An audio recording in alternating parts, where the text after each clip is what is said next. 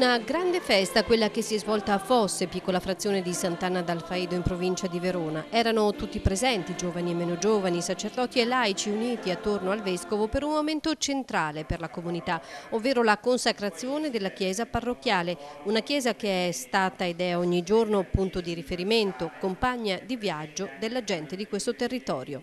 La chiesa è consacrata a Dio, cioè è il luogo, il tempio di Dio per il popolo cristiano il quale popolo è diventato il popolo cristiano mediante la consacrazione battesimale, che è la consacrazione più, più radicale. Anche questa sera ricorderemo ai fedeli che questa consacrazione della Chiesa e dell'altare in particolare ha sempre matrice battesimale, quindi ci ricorda quando entriamo in chiesa siamo dei battezzati che ci nutrono della parola di Dio e dell'Eucarestia. È sempre un evento anche suggestivo vorrei dire.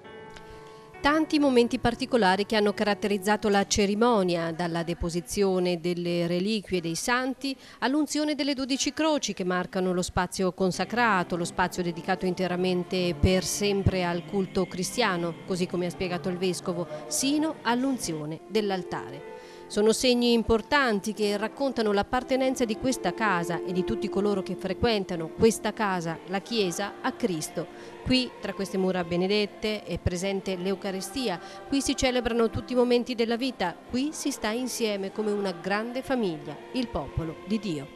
La, la Chiesa oggi festeggia anche i 50 anni della costruzione e ehm, poi il fatto che venga consacrato l'altare, consacrate le mura della chiesa, eh, è un richiamo al fatto che la comunità, noi dobbiamo essere eh, la santità nel mondo, noi dobbiamo essere i consacrati per il mondo, no? coloro che portano il Vangelo, che, che sono la Bibbia, la, la Bibbia moderna. Ecco, è, è, questo il senso, il fatto di consacrare una chiesa significa, l'importanza non è tanto legata al, ad avere delle mura consacrate, ma ad essere persone consacrate, ecco, uomini nel, che portano il Vangelo oggi.